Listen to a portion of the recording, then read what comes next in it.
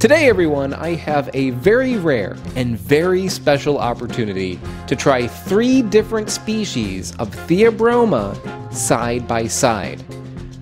Theobroma cacao is popular worldwide and rightfully so. The seeds of this fruit are processed to make chocolate.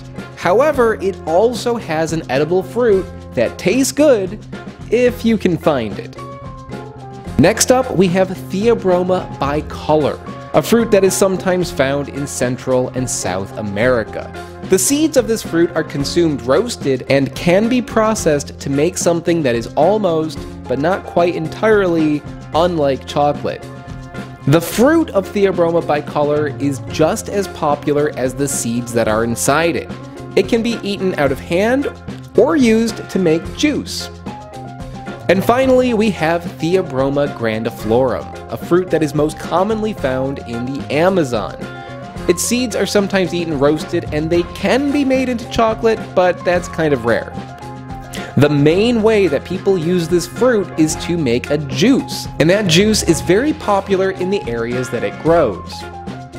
Even though these three fruits are related to each other, they are very different. I've been lucky enough to have reviewed these on my channel in the past separately, but today, in this very special episode, I will compare them side by side and show you just how unique these three fruits really are. This episode is brought to you by Squarespace. Head over to squarespace.com and sign up for a free trial today. Today, I have a wonderful and rare opportunity to talk about three different Theobroma species. In order to make chocolate, the seeds of the Theobroma cacao are taken out they are fermented, they're dried, they're roasted, they're brown, they're mixed with things. There's a whole big process to make chocolate with the seeds of this. But those seeds are surrounded by a fruit, and that fruit is edible. Typically, it's thrown away, but you can actually eat it. So to cut this open might be kind of tricky. It's easiest to smash it against something. So I'm gonna see if I can open it with a knife, and if I can't, we'll take it outside It's kind of like opening up a watermelon. It's got that sort of rind to it. And if you've been watching my channel for a while, you may remember that I did an episode where I actually ate the pod. People can eat the pod and have eaten the pod. However, the pod does not taste good. Not at all, but there's uh, been a little bit of effort to try to reduce the waste of the of the pod. So it's been done. Um, doesn't taste good.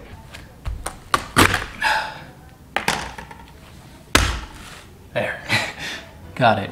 Although this one has so much popularity, there are actually over 20 species of Theobroma. And the ones that are most common out of those, ones that are actually used a lot by uh, some communities around the world, are basically these two. This here is Theobroma grandiflora. The common name for it is cupuaçu. And in the Amazon, the cupuaçu is used to make a drink. They take the flesh of this they mix it with either water or milk and some sugar. And that makes sense because the fruit in this is extremely powerful. It's very, very strong. That's really good.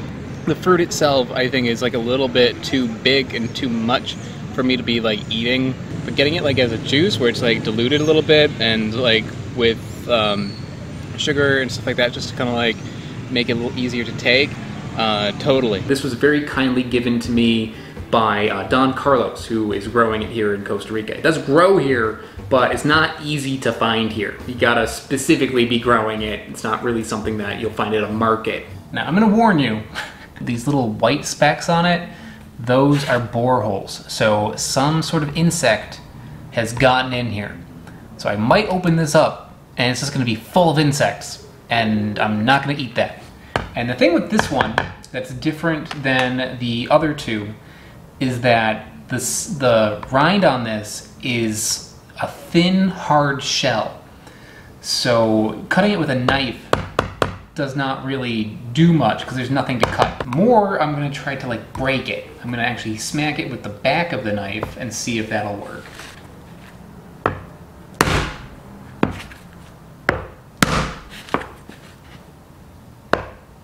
How bad is the bug situation?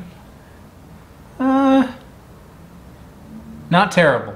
There are bugs in it, but it seems like they're mostly getting in the rind on the outside and they haven't really gotten into the flesh too much.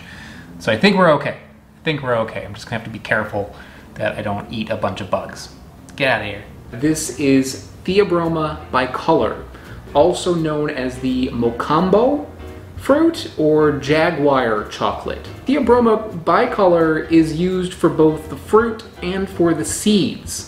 Aztecs actually used to use the seeds to make a chocolate out of it, or a chocolate drink rather, uh, the same way that they would with Theobroma cacao. But when the Spaniards came and tried the, the chocolates of these two, they did not like the bicolor chocolate drink as much as they like this one. So over time, the chocolate made from this kind of like fell out of fashion. You might find this at a market in Central America, uh, also in Mexico, like um, southern areas of Mexico. Sometimes this does show up, but also not super common.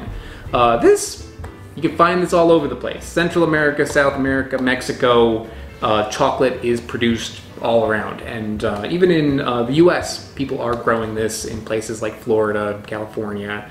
The rind of this is pretty hard. It's harder than the cacao. Let's see what happens with a good whack of a knife. Hardly made a dent.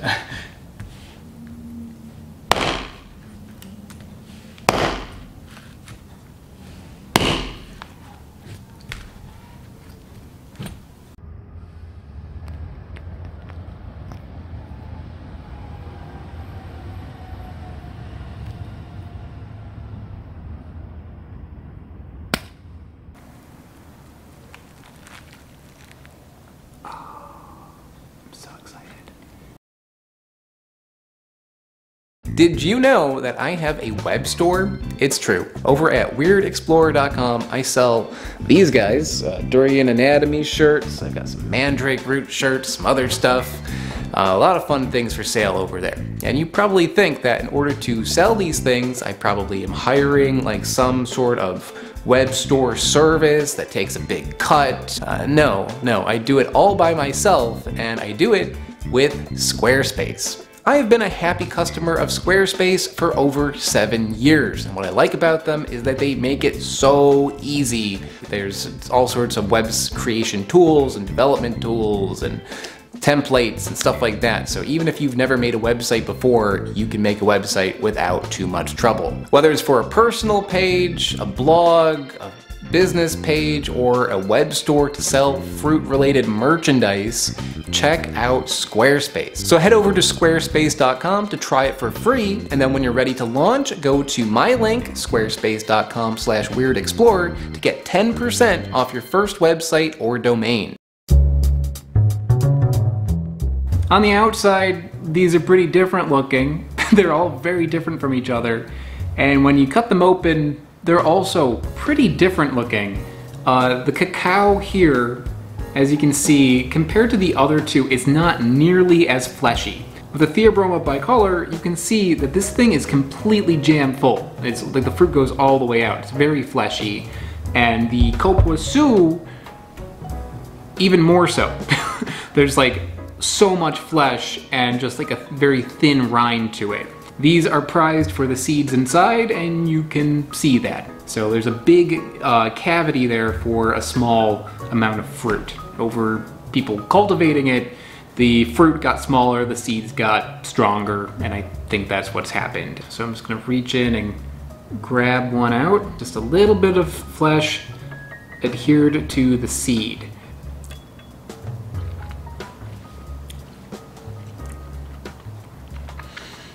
The flavor of that fruit is good.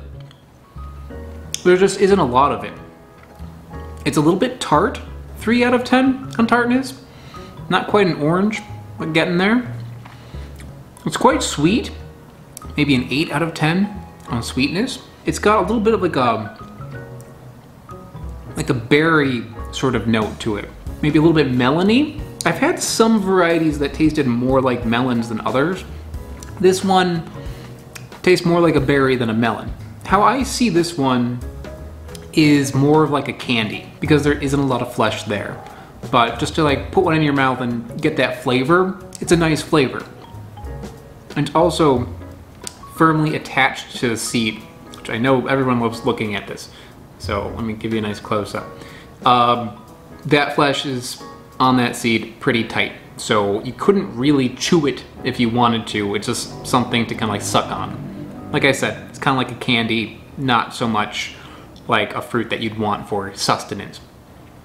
But the other cool thing about this seed is that if you bite into this, it is a dark brown, or in this case, a little bit purple, randomly, um, on the inside.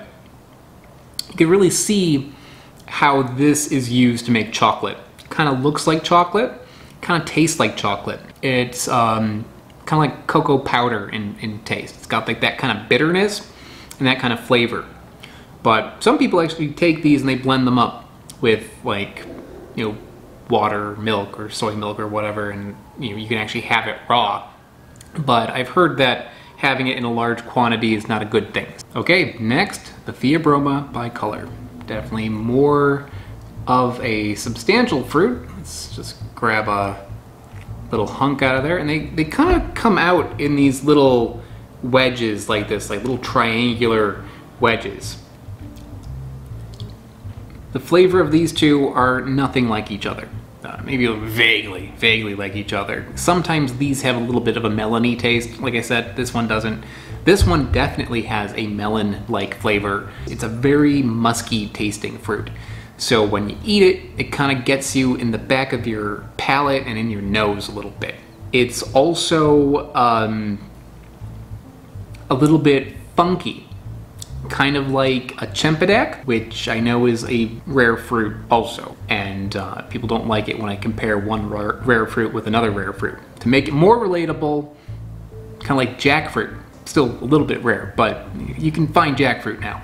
And jackfruit has a little bit of a funk to it. Cempedak has like a thousand times that funk. This one is um, not as funky as a Cempedak, but it's not as mild as a jackfruit. It's like splitting the difference a little bit you know, I don't like Cempedak so much, and I don't like melons so much, but in this sort of balance of those sorts of funky, musky flavors, really works.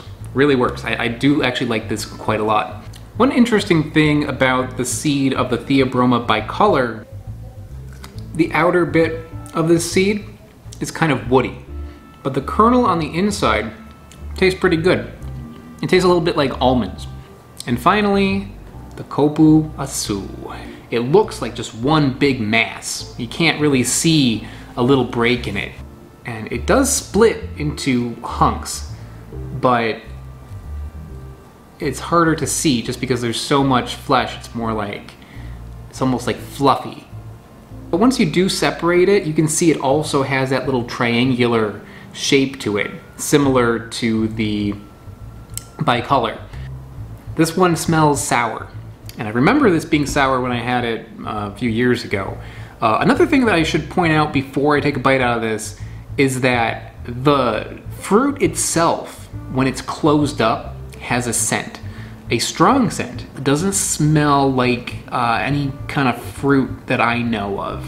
It's almost like sweaty, savory kind of kind of smell, which is uh, it's interesting.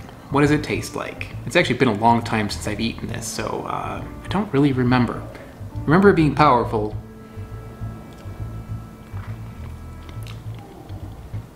Oh, yeah, really powerful. There's a reason why people don't really eat this one out of hand.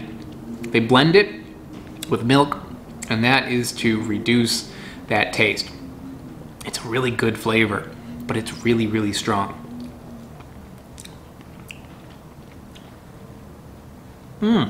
The tartness is like, I'd say is like a lemon. It's, it's like that high. It's like 10. I think how I described eating this uh, the first time I had it was it's like being dragged down a hallway backwards and being smacked in the head with fruit. It's just like this powerful hit of like a pineapple taste and this hit of like a banana taste and then a hit of like a berry taste and then you get this kind of like funky jackfruit kind of taste. It's all in there. It does share similarities with the other two. It does have a little bit of the berry-like flavor that comes from the cacao, and it does have a little bit of that muskiness and jackfruit taste that comes from the um, bicolor, but also has more. If you want to eat it raw, you should do it with a few friends because this has a lot, a lot of um, flesh to it and a lot of intensity to it. So uh, I'm definitely not going to be able to do this in one sitting. I'm going to be nursing that for a while uh, if the bugs don't finish it before I do. I really worked at trying to get the flesh off of this seed and I, I just can't do it. It's really, really tightly on there. Um, but you can see that it's kind of a brown color, a little bit more similar to the cacao than the bicolor. And uh, let's bite through it. The inside is white. It's also very bitter. This one, I don't like so much. I think maybe if you were to make this into chocolate, that bitterness would be a good thing. But um, it's a little bit harsh. Yeah, not, not quite as nice. Also, it oxidizes. You can see there, that one is now orange. Yep, I'm taking a bite out of it, pretty quickly turned orange, which did not happen with the bicolor. So I don't know what that means. Well, that's it everybody. Um, a rare chance to try these three species of Theobroma side by side and um, it's so interesting. You can see some similarities between these, but there are so many differences. And how these are used are so different. But all three of them are really good. And the fact that people don't really eat the flesh of the cacao, I think is a shame because it is a tasty fruit. You know, like sometimes it's better than others, but it's like a tasty fruit.